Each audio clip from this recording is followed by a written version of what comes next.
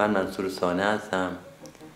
حدود سی سال پیش رشته عکاسی رو در دانشکده هنرهای زیبایی دانشگاه تهران خوندم.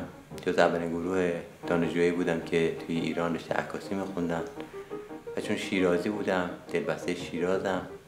به همین لحاظ به یاری استادم آقای حسن چهره نگار کار تحقیق در مورد شیراز قدیم رو شروع کردیم. عکاسی توی شیراز قبل از که میرزا حسن عکاس باشه عکاسی رو باز کنه یه چیز خاص بوده. برای یه طبقه خاص. یعنی همه نمی‌تونستن برن عکس بگیرن. آدم های عیون و اشراف می‌رفتن عکس می‌گرفتن.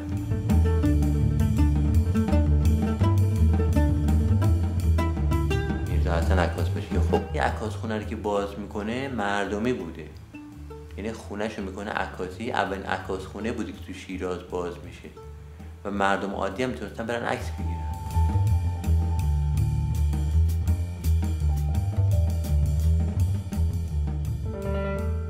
و بعد تزیناتش رو هم سعی می‌کنه که در ارتباط با عکس و عکاسی باشه. مثلا اتاق چند تا درک داشته که مثلا به حیات مثلا مربوط بوده. این شیشه ها رو مثبت گذاشته بوده. در هم نور رد می‌شده. هم یه تصویر روش بوده. و مثلا تمام خونه رو از آثار خودش پر کرده بود. مثلا سقف اون آتلیه که عکس می‌گرفته عکس خودش چسبونده بود. به جای که مثلا نقاشی باشه یا مثلا قاب ساده باشه عکس هسته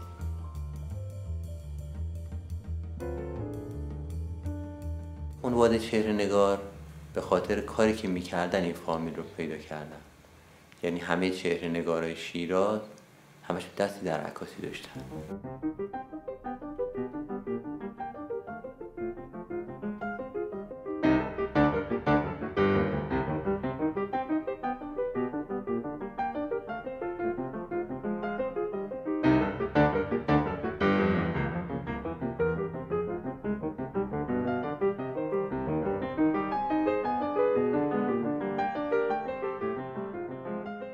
اینا یه نسلی بودن که خیلی اولا علمی برخورد می‌کردن با عکاسی.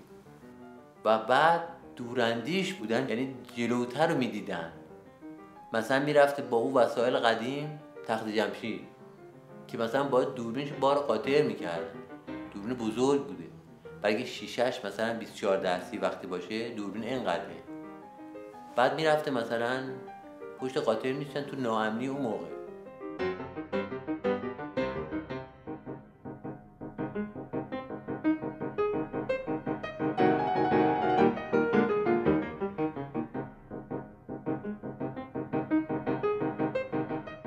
یا آمیز فتولوی چهره نگاه رفت از خیابون شیراز عکس گرفته. سال 1908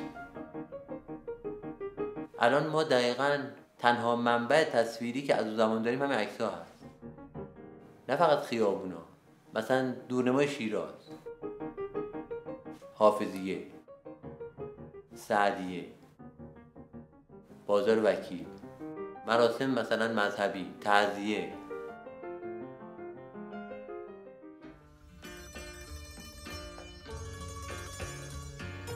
یه سری عکس ها مال هنده.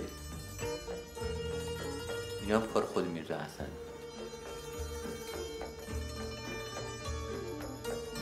یه سری عکس هم از کربلا و بقا متبرکی داره اونم باز کار خود میرزا حسن.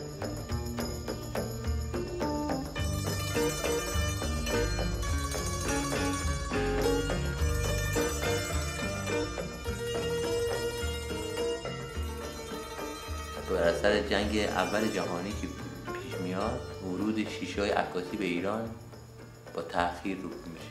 حبیب الله خان چهره نگاه یه دستگاهی درست می‌کنه خیلی ساده.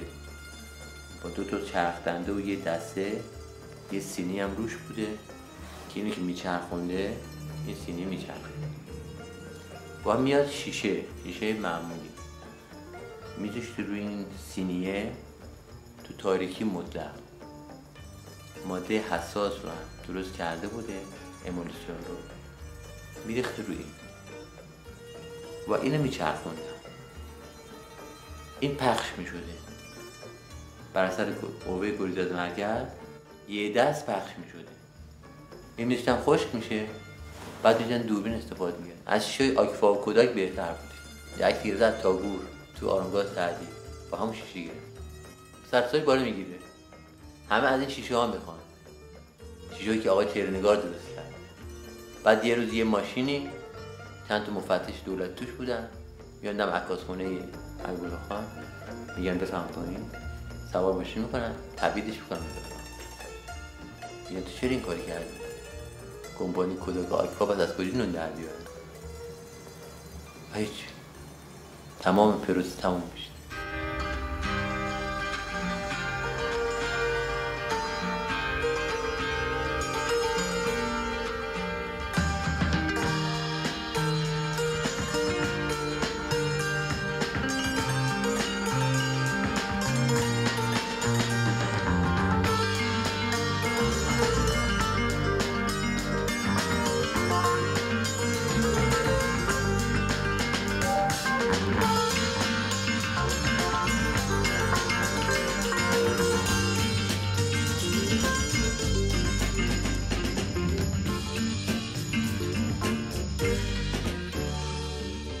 عنوان چهره نگار که بینشی داشتن که می‌گفتن صد سال دیگه اینا سند میشه یعنی اینا واقعا از در فرهنگ خیلی خدمت کردن به این و به این مملکت و به این فرهنگ.